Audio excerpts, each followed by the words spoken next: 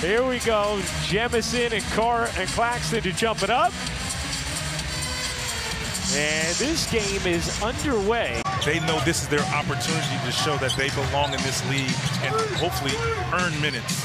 Aldama off on a three. Finally started to find his stroke last game. A loss to Portland. To Vince Williams Jr. has been a nice story for Memphis this season as they look to find some rotation guys for when their core comes back as Aldama knocks down the three. Williams, a very impressive defender, comes up with a steal. Aldama fakes the rhythm dribble. Kennard connects. And Kevin Ollie wants a timeout. It, it's better to just get him healthy so he's now going to play an extended uh, uh, amount of games instead of just in and out of Nice little finish. You're going to have to go up around him, not through him. Aldama short on that attempt. Here's Williams. Off to Aldama.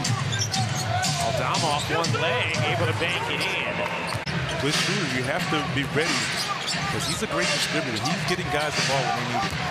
Aldama, a little mid-range. That one's short. Rebound, bangs around it. That will remain to be contagious, and that's something they're going to need throughout the course of this game to put this team away because Memphis does play hard. They fly around. You just ball movement and let it find open shots. South Carolina? South Carolina. Like I said, I don't hold it against. Ron Sharpe misses on that three. I mean, every day I ate, but it wasn't any different than any other day. Johnson a little maybe centerpiece right behind the office yeah, desk. Yeah. Sure. Can hit the free throw. Finance a week ago went eight of nine from the floor. Nice cut. Bridges waits twice. Oh, can't finish though. Had it at point play. Nice cut. Bridges waits twice. Oh, can't finish though. Had it at point blank range. Two for seven now is Bridges. Aldama.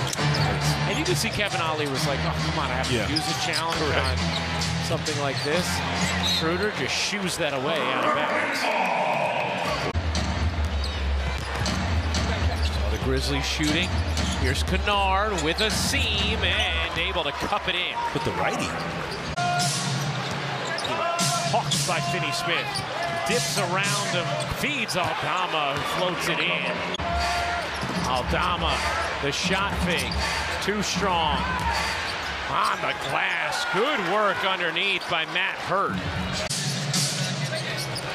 Bridges getting ready to check back in for Brooklyn.